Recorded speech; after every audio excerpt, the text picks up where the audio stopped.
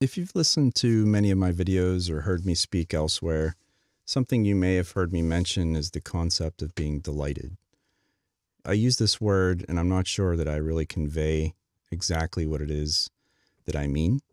So when I come across something that actually does delight me, I like to call attention to it. I hadn't used Deepin or tried it out for quite a while, and someone was talking about it earlier, and I thought, you know what? Let me download the Deepin 20 beta. So let's just take a quick look at the Deepin installer. Let me share with you why I think this is delightful. And I'm looking at this very much from an end user perspective.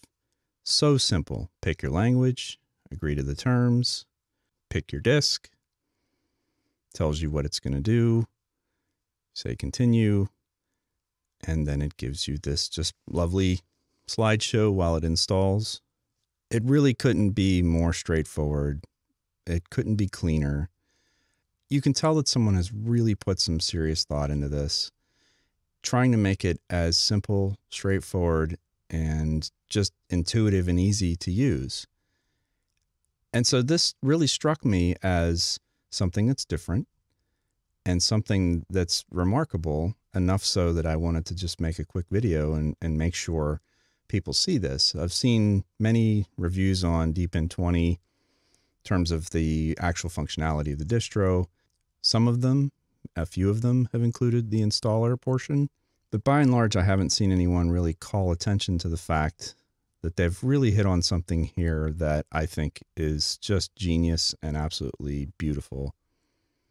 The installer just continues through the slideshow as it's doing its work in the background. And when it's finished, it requests to reboot. Once you've rebooted, you're greeted with a very simple set of steps that you need to go through. You select your time zone, create your user account,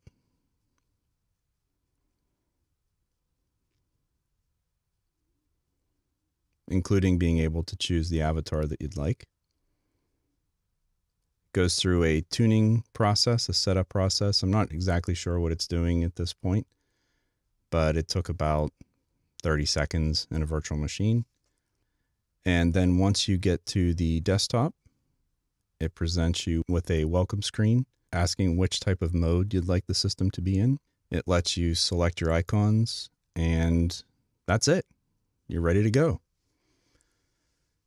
So that's all I had for this. I, I really just wanted to call attention to something that delighted me today, that really made me think, wow, somebody put a tremendous amount of effort into thinking about this and putting forward probably what I would consider to be the cleanest and most elegant installation procedure for Linux that I've yet encountered.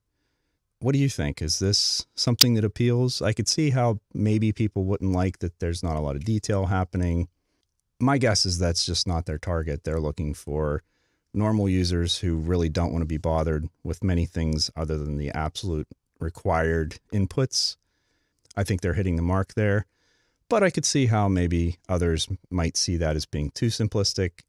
So just curious to see what you guys think. If you have any thoughts on this, please feel free to comment below. Like and subscribe if you do, of course. And I will see you in the next video. Have a great day. Take care.